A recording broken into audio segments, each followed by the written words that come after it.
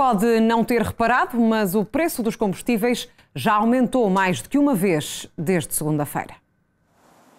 Já lá vai o tempo em que as mexidas nos preços dos combustíveis aconteciam no início de cada semana. Desde segunda-feira que quem usa o carro para se deslocar paga mais, tanto pela gasolina como pelo gasóleo. O gasóleo simples encareceu cerca de 10 cêntimos e a gasolina subiu mais 7 cêntimos.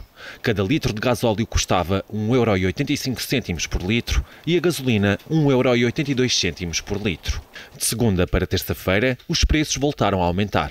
A gasolina ficou 2 cêntimos mais cara e passou a custar 1,84€ por litro e o gasóleo subiu 4 cêntimos, tendo passado a custar 1,89€ por litro. Já de terça para quarta-feira, o preço do gasóleo não sofreu nenhum aumento, mas a gasolina subiu mais um cêntimo e passou a custar 1,85€ por litro. Contas feitas, desde domingo, cada litro de gasóleo está 14 cêntimos mais caro e o litro de gasolina 10 cêntimos.